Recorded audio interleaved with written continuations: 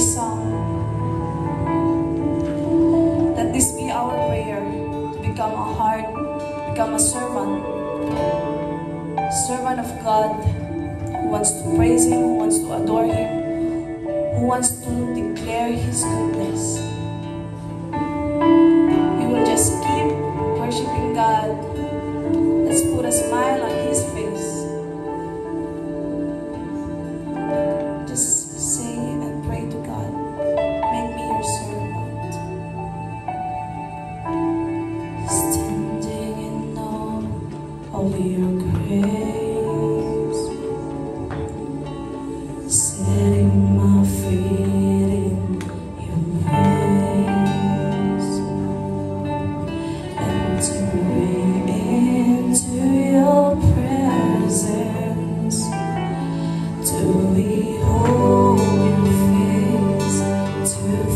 Amen.